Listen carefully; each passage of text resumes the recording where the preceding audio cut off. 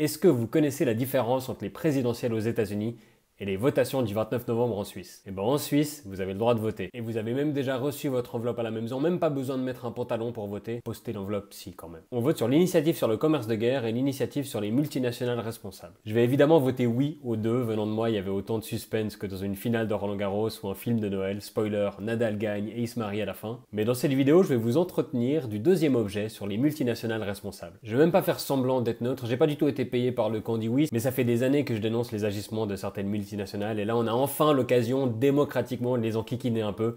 Alors je vais me gêner. Je vais vous expliquer pourquoi, à mon avis, qui vaut ce qui vaut, que vous soyez de gauche, de droite, du centre ou même de Moutier, il faut voter oui, à moins que vous soyez actif dans le négoce de matières premières dans la Corne de l'Afrique, là votez non. Et je vais vous donner quelques éléments pour répondre aux arguments contre l'initiative. Les sociétés basées en Suisse ainsi que leurs filiales devront prouver qu'elles respectent bien les droits humains et l'environnement.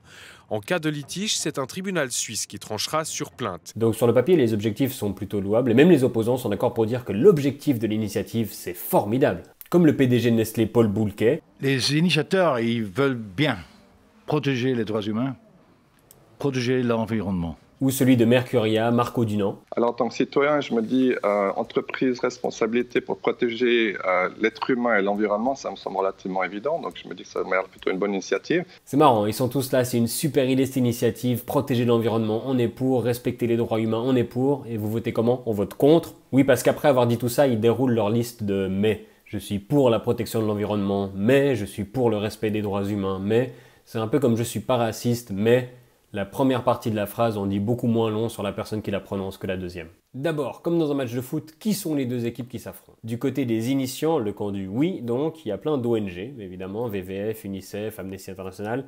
Euh, il y a les Verts, le PS, plus à droite le PBD, les Verts libéraux, les jeunes PDC, des centaines de chefs d'entreprise, un comité bourgeois qui réunit 500 politiciens de droite, Jean-Marc Richard, je sais pas, mais sûrement Miss Suisse, enfin il n'y a plus de Miss Suisse, mais si on avait une, elle serait pour la paix dans le monde, donc elle voterait oui.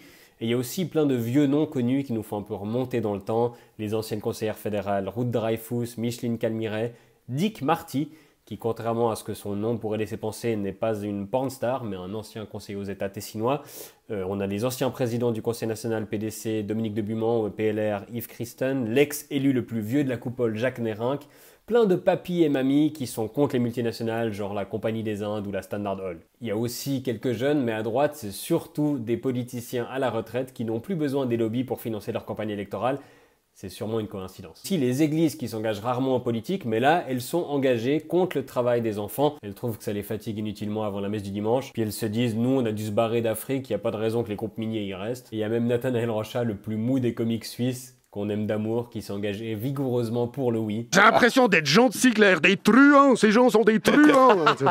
Dieu sait que je suis pas, je suis pas de gauche, mais même l'UDC Valais Roman, ils soutiennent l'initiative. C'est pas exactement des bisounours, l'UDC Valais Roman, mais au moins il y a une cohérence chez eux. Quand on demande aux Africains de pas tous débarquer chez nous, il faudrait d'abord arrêter d'aller se servir chez eux. Dans le camp du non, on retrouve des organisations économiques comme Économie Suisse, Succès Suisse, des chambres de commerce, des organisations patronales, Guillaume Tell, hein, il est sur les affiches, les associations des secteurs concernés, puis aussi le PDC, le PLR et l'UDC, ce qui est un peu les mêmes que les associations économiques. Le Parlement et le Conseil fédéral y recommandent également le non, ils préfèrent le contre-projet dont je vais vous parler un peu plus tard.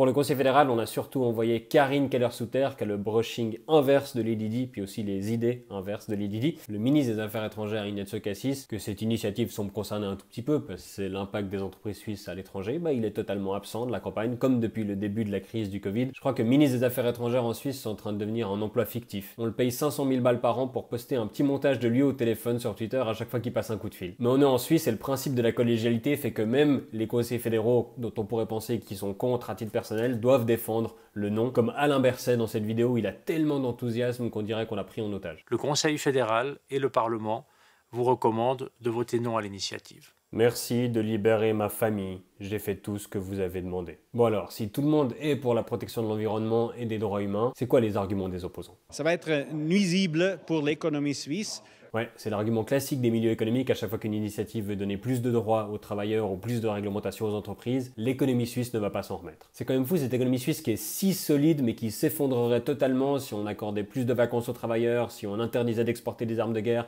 si on augmentait le salaire des plus précaires, si on baissait le salaire des patrons, si on accordait un congé paternité, si on soufflait trop fort dessus. Heureusement, on a refusé la plupart de ces initiatives, donc l'économie suisse est devenue super forte et a pu résister à une crise comme par exemple une pandémie. Ah non, merde, mais du coup on a mis plein de réserves de côté pour pouvoir aider les entreprises dans cette période difficile. Ah non plus, parce que Limarer n'a pas envie, sinon son budget il sera pas choli choli. Donc comme à chaque initiative du genre, il nous dit si ça passe, il y aura des licenciements, alors que si on vote non, mais jamais une multinationale oserait licencier pour faire augmenter le cours de son action. Jamais Mais là, je comprends pas trop l'argument. Ou quoi? Il faut qu'on fasse attention à respecter les règles. Ouh là là là là Vous êtes sûr que ça va être rentable? Gerhard Pfister, le monsieur qui parlait, président du Parti démocrate chrétien et sosie officiel de Troupi, disponible pour vos anniversaires, il a oublié de dévoiler qu'il était devenu président de l'association fêtière des cimentiers de Suisse, qui est très concerné par l'initiative, mais il a dit c'était pas intentionnel, je suis désolé. Moi je le crois, il a tellement de liens d'intérêt avec l'économie et l'industrie, c'est impossible de se rappeler de tous. C'est la même bonne foi que le cimentier franco-suisse Lafarge Holcim en Syrie, accusé de financement du terrorisme, parce qu'ils ont donné 14 millions à Daesh pour pouvoir continuer à exploiter leur usine. Non, on n'a pas financé le terrorisme, on a donné de l'argent à Daesh, mais on sait pas ce qu'ils en ont fait, c'est peut-être pas aller dans leur division terrorisme, c'est peut-être plutôt dans la filiale parc d'attractions. Donc soit elles vont licencier, soit pire, les multinationales vont partir. Ça, ils aimeraient bien le dire un peu plus souvent pour nous effrayer, mais le problème... Dans les faits, Cynthia Racine, aucune multinationale n'a quitté la Suisse suite à une votation.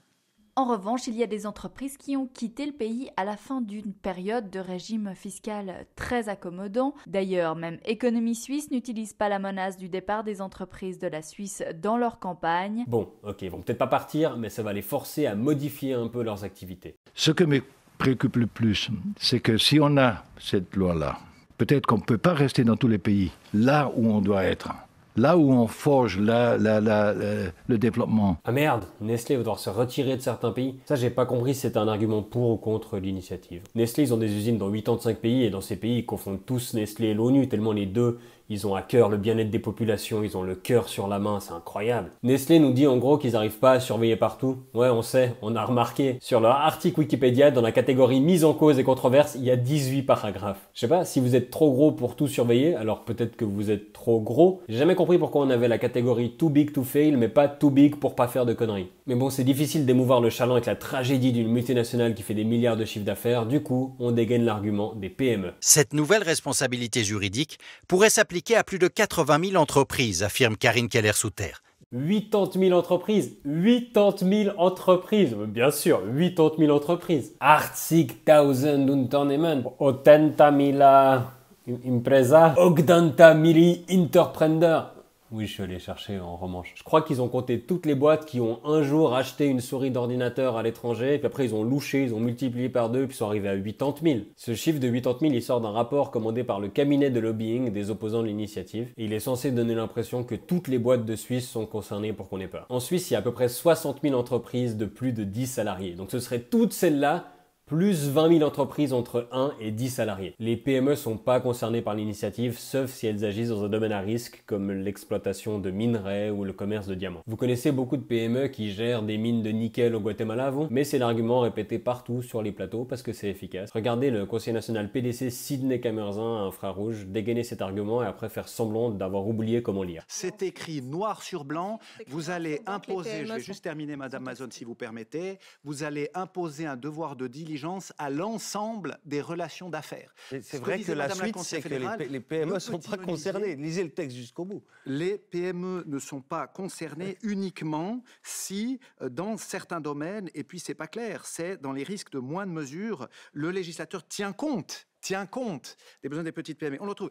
Mais les petites PME, elles sont pas, elles sont pas à la lettre C. Je termine juste. Au niveau de la responsabilité, à la lettre C. Le gars essaye de faire croire que c'est compliqué. Oui, mais la ligne AB, non. Les initiants ne veulent pas que les PME soient concernées. Le Parlement qui devra rédiger la loi ne veut pas que les PME soient concernées, les PME seront pas concernées. Les seuls qui veulent que les PME soient concernées, c'est les opposants, comme ça ils peuvent dire que les PME sont concernées et ça fait peur. Parce que comme on peut pas dire décemment qu'on défend une cinquantaine de multinationales qui sont tamponnent le coquillage des règles, on prend les PME comme bouclier. Ils sont à deux doigts de nous dire que si les négociants en matière première font moins de chiffre d'affaires, ils vont diminuer les banquets, puis du coup, ça va impacter les traiteurs qui, eux, sont des PME. Les opposants nous disent aussi qu'ils ont peur que les tribunaux suisses soient inondés d'affaires de l'étranger. Ah parce que vous êtes au courant de plein de crimes de boîtes suisses partout sur la planète? Hmm, Pas tout à fait un aveu de culpabilité, mais c'est louche quand même. Si tu dis à quelqu'un, à partir de maintenant, frotter ses parties génitales sur un lampadaire, c'est illégal, et qu'il te répond, oulala, mais ça va inonder les tribunaux, c'est qu'il frotte ses parties génitales sur un lampadaire, puis inonder les tribunaux. Inonder, comme au Brésil où un barrage de Vallée a explosé, tuant des centaines de personnes et polluant toute la région. Vallée, c'est une entreprise brésilienne qui exploite des mines au Brésil, mais qui a quand même un siège à Saint-Pré, on ne sait pas pourquoi. Je pense pas que c'est parce qu'il y a du bauxite sous la Venoge. Les opposants dénoncent également un retournement du fardeau de la preuve, ils disent qu'ils seront considérés comme coupables jusqu'à qu'ils prouvent qu'ils sont innocents. C'est faux. Ce sera d'abord à la victime de prouver le dommage, de prouver la causalité, de prouver la faute, de prouver la relation de contrôle le tout à leurs frais, et même là, l'entreprise ne sera pas condamnée s'ils démontrent qu'ils avaient des contrôles en place. C'est juste que maintenant, les géants du trading pourront plus faire semblant de ne pas savoir que des enfants travaillent dans leur mine. Des enfants sur notre mine? C'est un malentendu. On a mis une annonce où on a dit qu'on cherchait des mineurs, ça a été mal interprété. Des enfants se sont pointés, on s'est dit, bah, puisqu'ils sont là, prenez cette pioche. Mais heureusement, les opposants ont une solution beaucoup plus efficace, le contre-projet. Le contre-projet du Parlement mise sur les règles existantes en matière de responsabilité, et introduit de nouvelles obligations en matière de transparence. Merci Alain, j'espère que votre famille et vous serez libérés très bientôt. C'est le deuxième contre-projet parce que le premier a été accepté puis refusé parce qu'il était trop strict et du coup in extremis ils ont sorti ce deuxième contre-projet. Que dit-il? Le Parlement propose un contre-projet moins contraignant avec la publication d'un simple rapport et des sanctions moins lourdes. Voilà, donc c'est un joli rapport et vous êtes sanctionné si vous ne le faites pas. C'est à peu près aussi dissuasif que la prison au Monopoly. Ah non, il y a une amende de maximum 100 000 francs et sans passer par la case départ. Pour des boîtes qui font jusqu'à 200 milliards de chiffre d'affaires par an, 100 000 balles pour continuer de faire exactement comme avant, je pense qu'il faut un ordre permanent le 1er janvier puis on n'en parle plus. La preuve que ça marche pas, c'est que ces rapports, ils existent déjà pour la plupart des entreprises. C'est des pages et des pages et des pages où ils énumèrent tout ce qu'ils font de bien et de caritatif et d'humanitaire. Puis après, oups, malheureusement, plus assez de pages pour parler des problèmes et des incidents. Peut-être l'année prochaine. Par exemple, dans son dernier rapport, le géant Zugwa Glencore ne déplore aucun incident majeur sur l'année. Pourtant, rien qu'au Congo, il y a eu un éboulement dans une de leurs mines qui a fait 43 morts et un camion d'acide qui a fait un accident et tué 20 autres personnes. Ah, parce que quand des Africains meurent à cause de nos mines, c'est des incidents majeurs, ça Ah ben il fallait dire plutôt, nous on pensait incident majeur pour le bilan comptable, autant pour nous. Je pense pas qu'on va pouvoir régler ces problèmes avec de l'autorégulation et des PowerPoint. Ce qui leur fait peur, c'est des procès, la médiatisation qui va avec et l'impact sur leur image. Dernier argument bonus, après c'est fini promis, mais moi ils ont annulé tous mes spectacles, donc j'ai le temps. Elle mérite sa propre catégorie, Isabelle Chevalet. Elle, c'est l'ovni du camp du nom. Ils ont à peu près tous les mêmes arguments, sauf Isabelle Chevalet. Elle est en freelance, freestyle, ses arguments, c'est du cubisme. Isabelle Chevalet, elle est très active en Afrique, elle a plein de projets caritatifs là-bas, c'est très bien. Mais elle a mal récupéré du décalage horaire, je crois. Elle dit je suis africaine de cœur, puis elle se pointe en boubou avec une pioche burkinabé à la conférence de presse. Elle montre ses diapos de voyage en Afrique. On dirait ta tante qui revient de safari, puis après qui reste perchée pendant six mois. Ces gens, ils ont rien, mais ils donnent tout, puis les sourires. Puis les autres opposants, ils la regardent du coin de l'œil en disant hmm, peut-être qu'on aurait dû lui donner le faux jour et le mauvais lieu pour la conf de presse. Elle a fait un débat, puis après je crois qu'ils ont plus osé l'envoyer. Écoutez. D'abord, il faut pas faire ce qu'on ne tolère plus chez nous ailleurs. C'est vrai. Il se trouve juste qu'en Suisse, le permis de tracteur, c'est 14 ans et que le travail des enfants est reconnu, il faut avoir 15 ans révolus. Donc moi, j'ai jamais vu une ONG suisse s'attaquer à l'âge du permis de tracteur en Suisse. Mais elle a perdu un pari ou quoi? C'est pas possible. Vous en connaissez beaucoup des fermes dans l'Oberland où il y a des enfants qui dorment à 40 dans une grange et qui bossent 12 heures par jour pour qu'on puisse avoir de bonnes betteraves. Donc je trouve qu'on est bien mal placé quand pendant des années on a fait les vacances de pommes de terre ou les vendanges avec des enfants quand notre pays était plus pauvre, de venir faire la leçon aux j'adore l'argument oui, mais quand on était un pays pauvre, on n'avait pas les mêmes règles. Oui, puis à l'époque des trois Suisses, c'était pas le même code de la route. Puis à Morgarten, vous croyez qu'ils respectaient les conventions collectives du travail? Ouais, il s'avère qu'on n'est plus au Moyen Âge, Isabelle. Et ça, faudrait peut-être le dire à Lisa Madzone qui s'est pointée sur le plateau d'infrarouge avec la coupe de cheveux de Geoffroy de Montmirail. Je pense que c'est pour ça qu'elle est dans le camp du oui, elle, veut attaquer son coiffeur pour crime contre l'humanité. Oui, je sais pas pourquoi je fais que des blagues sur les cheveux des nanas dans cette campagne. Peut-être parce que les mecs, il en reste autant que de poissons dans le Zambèze. À part Dominique de Buman qu'on a plus au-dessus, du coup il a décidé de l'en mettre partout autour de son visage. Mais revenons à Isabelle Chevalet. Elle soutient que cette initiative est néo-colonialiste. Bah évidemment, les nouveaux colons, c'est pas les boîtes qui viennent piller les ressources en jetant quelques billets aux locaux. C'est ceux qui veulent que ces boîtes respectent les droits de l'homme. Et elle dit ça mais ça va vraiment appauvrir ceux qu'on l'on pense aider. Je, ne sais même pas quoi répondre à ça. J'ai essayé de faire en sorte qu'ils bossent dans des meilleures conditions et qu'ils meurent moins sur leur lieu de travail, c'est les appauvrir. C'est quoi? C'est la journée des contraires, ils sont en mode celui qui dit c'est celui qui est? Bon, elle dit plein de choses, Isabelle Chevalet, mais ce qu'elle dit pas, c'est qu'elle est proche du STSA, le Swiss Trading and Shipping Association, le lobby des négociants en matière première. Et elle aime bien aller à leur soirée, bon là, elle porte pas le boubou, euh, ni là, pour leurs 10 ans. Elle a même participé à plusieurs voyages en Afrique payés par le STSA comme en 2018 au Burkina Faso, où elle dit qu'elle n'a pas pu vérifier si des enfants travaillaient dans les champs d'entreprises suisses parce que c'était pas la période des récoltes. Ah bah c'est dommage, c'est con ça, je pense que le lobby des négociants n'a pas fait exprès que ce soit pas la bonne période. On dirait Claude Béglé qui revient d'une visite guidée en Corée du Nord et qui nous dit oh c'est pas du tout ce qu'on croit. En tout cas merci Isabelle parce que je me suis tapé des dizaines d'articles très sérieux, ça m'a fait du bien de rigoler un peu au milieu de tout ça. Bon les initiaux ils ont pas fait tout juste dans la campagne non plus. Genre ils ont envoyé ça et ça a fait polémique. Ils ont reproduit le logo du matin dimanche sans leur autorisation. Mais c'est assez chou, c'est la première fois que c'est les ONG qui ont assez d'argent pour envoyer un tout ménage. Du coup ils sont tout perdus, ils savent pas quoi faire et ils font un peu n'importe quoi. Tout ménage c'est une page recto verso d'une interview qui est déjà sortie il y a deux semaines dans le matin dimanche. Enfin, c'est une photocopie d'un vieux journal. C'est débile de faire ça, même si l'interview est reproduite telle quelle, ça peut donner l'impression que le matin dimanche prend position dans la campagne. Bon, après, faut quand même y aller pour confondre avec le matin dimanche. Déjà, on l'a reçu un mardi, puis bon, il fait qu'une page. Même environ des journalistes chaque année, ta média, on n'est pas encore réduit à faire un journal d'une page. Il y a aussi des gens qui ont râlé parce que sur les affiches de campagne des initiants,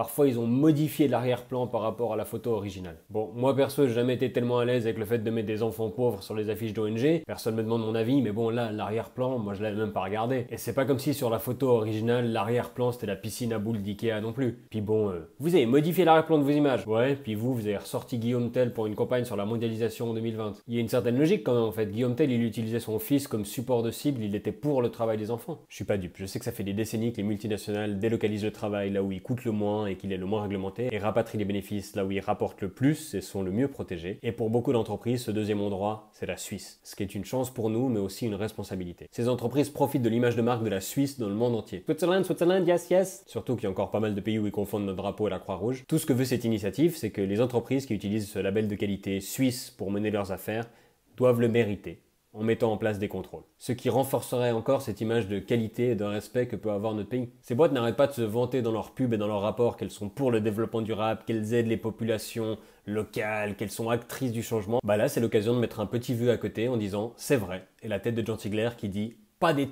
D'autres pays partout en Europe travaillent sur des lois similaires, donc si la Suisse prend du retard, ça aura l'effet inverse. Comme pour le secret bancaire, on sera le dernier refuge de tous les voyous. Parce que le fait que les secteurs concernés soient contre cette loi, pas très bon signe. D'être pour les droits humains mais contre les sanctions, c'est un peu facile. Oui, oui, vous inquiétez pas, on fait déjà tout ça, pouvez nous faire confiance. Une sanction? Oh non, non, non, non, non, non, non, non. Ils veulent bien continuer à faire des programmes pour la planète et les pauvres, mais ils aimeraient que ça reste un hobby. Ils veulent qu'on continue de les féliciter à chaque fois qu'ils font un truc bien, mais pas qu'on les tienne responsables quand ils merdent. En suivant de près cette campagne, j'ai l'impression qu'on veut tous améliorer la situation, sauf ceux qui profite grassement de la situation. Et c'est pour ça qu'il y a plein d'entreprises dans le camp du oui. Si tu as une boîte que tu respectes toutes les règles du jeu et qu'au bout du compte ton prix est plus élevé que ceux qui s'en foutent, bah forcément que tu es pour l'initiative. Elle va pas régler en un vote le problème, mais elle va déjà dans le bon sens. Ce sera moins facile d'acheter des milliers de tonnes de matières premières depuis un bureau à Genève sans savoir à qui on a affaire ni ce qu'ils font vraiment. Et peut-être que les droits humains et environnementaux arrêteront d'être tout en bas de la liste des priorités, juste entre la police de caractère du rapport aux actionnaires et l'arôme du savon dans les toilettes du bureau. La première étape de la mondialisation, c'est qu'on a arrêté nous de faire les métiers chiants et dangereux, et on leur a aussi refilé la plupart des industries polluantes. Peut-être que si maintenant il y a enfin des conséquences à faire ça, on forcerait ces boîtes à réfléchir à la deuxième étape des moyens de production plus malins et moins dommageables pour l'environnement et l'humanité. Oui, désolé, là je sais que je suis moins en mode blague et plus en mode il faut renverser le système. Pour vous remercier de m'avoir écouté jusque-là, je vous remets Geoffroy de Montmirail. Karine Keller-Souter a dit les ONG n'ont pas le monopole du cœur. C'est vrai. Et les multinationales suisses n'ont pas le monopole des paysans empoisonnés, des enfants exploités et des rivières polluées. Mais c'est sur elles qu'on a un moyen de pression. Et puisqu'il faut bien commencer quelque part, commençons par un oui le 29 novembre. Ah, il y a un dernier point, après je vous jure que c'est terminé. Comme c'est une initiative qui veut modifier la constitution, il faut la double majorité de la population et des cantons. Ça vous rappelle quelque chose J'espère que ça veut pas dire qu'on va attendre 8 jours que les grisons aient fini de dépouiller les votes par correspondance. Mais du coup, ça influence la campagne, comme ils ont besoin que de la moitié des cantons, les opposants ont plus ou moins avoué qu'ils avaient délaissé la Suisse romande et qu'ils foutent le paquet en Suisse allemande. Bah oui, parce qu'avec ce système, la voix d'un habitant de Glaris a 20 fois plus de poids que celle d'un vaudois. Ils sont tellement peu là-bas, ils vont encore en main levée. Économie suisse a quand même dit qu'ils avaient deux cantons romans qu'ils espéraient convaincre, deux swing states, mais veulent pas dire où sont la Géorgie et la Pennsylvanie de Suisse romande. C'est assez facile à deviner, c'est les deux cantons romans où il y a quand même des Suisses allemands. Donc allez voter, où que vous soyez. Et si vous connaissez des Suisses allemands, envoyez-leur un message pour leur rappeler, discutez avec eux, envoyez-leur cette vidéo parce qu'ils adorent exercer leur français. Ça me rappelle l'armée. Et promis, si Glaris vote oui, j'irai personnellement avec ma pioche burkinabé pour m'excuser là-bas.